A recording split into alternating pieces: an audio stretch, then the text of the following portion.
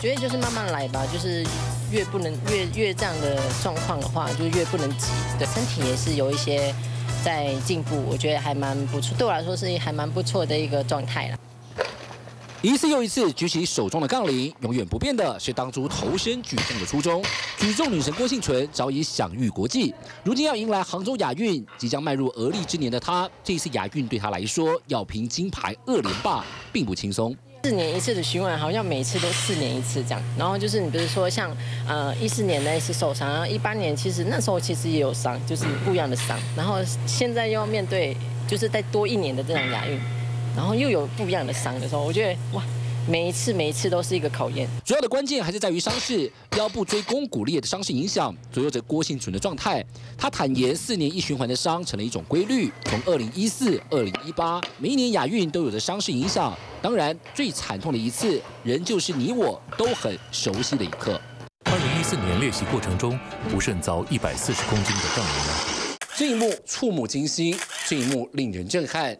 二零一四年仁川亚运被杠铃压伤，成了职业生涯最大的痛。但郭幸存克服这一切，南瓜各大赛事奖牌，世锦赛、亚锦赛、世大运、亚运、奥运全部拿过金牌，还撞下了女子五十九公斤级抓举、挺举总和三项世界纪录。走过许多赛事的郭幸存，也逐渐迈入生涯晚期。除了拼战亚运，明年的巴黎奥运更是他的终极目标。怎样的过去哈？现在在面对新的赛场上的时候，其实目标还是都会是一样的，就是当然会希望把最好的成绩带出来。那我讲在奥运过后的这段期间，其实我也想了很多，然后包括说自己的心理的纠结，其实也蛮多的。那我觉得。又是一个不同的郭幸存在面对接下来的比赛，这样。然而带伤上阵的确影响了幸存。今年亚锦赛，郭幸存失常的仅仅只拿下三面铜牌。教练跟幸存都表示，目前就先与伤势共存，逐步调整状态，当然也会尽全力拼下每一块奖牌。压力还是有在，然后相对对于大家。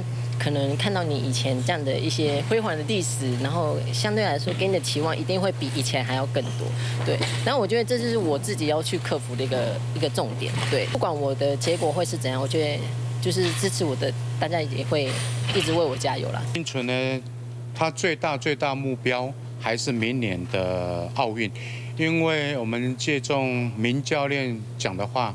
奥运冲金容易，但是保金难。不要害怕受伤，也不惧怕年纪哦。最主要就是看你平常是怎么样训练的。镜头的另一端，身形较为壮硕的是亚运挑战七十六公斤级的陈文慧。这次增加量级拼战亚运，对陈文慧来说，稳扎稳打是她的制胜武器。杭州亚运的话，我觉得。就是希望再把，因为世锦赛比完了嘛，然后以把总成绩的状态再往上提升，这样。陈文慧曾经在前年东京奥运夺下铜牌，状况维持的不错。去年亚锦赛拉伤手，历经一段修复期，亚锦赛回归拼下两面铜牌，让他逐渐找回身手。谈到历经高低潮的时刻，陈文慧满满感触心得。在训练上的话，我觉得会在重量上会特别要求，特别是稳定度的上面，因为在冬奥前可能比较像。那种出生之犊不畏虎的那种状态去备战，就是傻傻的拼，然后现在就是非常比较有。企图性、有目的性的去拼，但未来比赛对陈文慧来说挑战非常大。为了因应巴黎奥运量级调整，陈文慧到时候要参战七十一公斤级，但这次亚运没有七十一公斤级，变得他得从原本六十四公斤级跨级升级到七十六公斤级。教练黄达德表示，这根本是越级打怪。陈文慧也表示，要增重反而是一件困难的事情。十六的亚运的七十六公斤级这样，然后体重应该会希望可以落在七二七三，就是尽量。不会离七十六太远，因为如果在这短时间内要把体重撑到七十六的话，我觉得相对在课表上跟体能上跟都是一个负担。首次挑战的陈文慧仍旧难掩兴奋之情。当然，中华队在举重最大的敌人莫过于北韩跟中国大陆。除了陈文慧挑战八十七公斤级的罗银元，另外还有九十六公斤级的陈柏任。只要发挥得好，人人都有机会。对于中华队来说，举重这个项目仍旧是我们重要的夺金大库。